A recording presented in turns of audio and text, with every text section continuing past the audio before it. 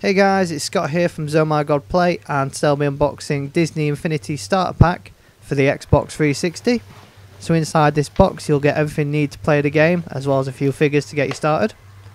And the figures included are Mr. Incredible from The Incredibles, Sully from Monsters Inc. and Monsters University, and Captain Jack Sparrow from the Pirates of the Caribbean franchise.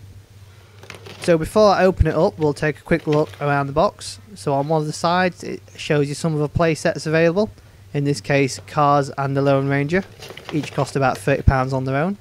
And on the other side of the box, it gives you a brief rundown of what's included inside this starter pack. So as you can see, you get the three figures, the portals, a power-up add-on, and uh, the game itself. Moving on to the back of the box, it gives you a brief rundown of what you can expect from the game, as well as some more promotional materials.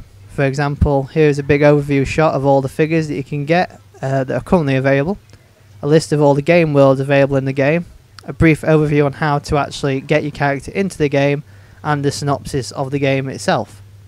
So, very colourful, very pretty.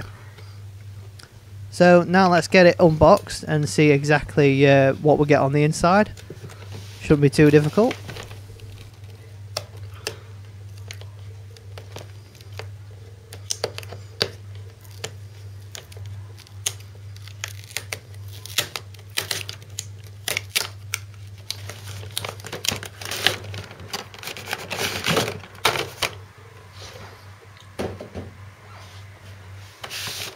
So once you've taken the outer packaging off, you're welcome with all the contents tightly uh, wrapped inside. So first of all is the Disney Infinity Xbox 360 game in its own plastic game case. So here we have the front, the spine, and the back. As well as a lot of uh, technical information in a variety of different languages such as English, Spanish, and I think French. Uh, a contents information booklet telling you what's exactly included inside the box uh, and what this should be, and as well as health and safety warnings and all that jazz that no one will probably read since it's quite easy to set up.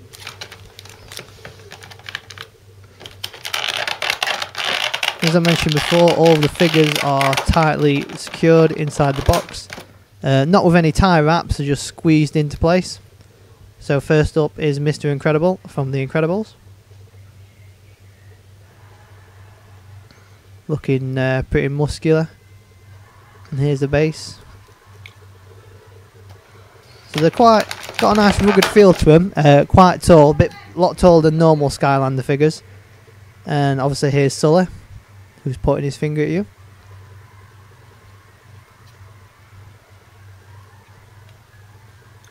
Yeah, like I was mentioning, unlike Skylanders, these figures are a lot taller and they've got a bit more weight to them. So it actually feels like you've got something for your money. And finally here's Captain Jack Sparrow.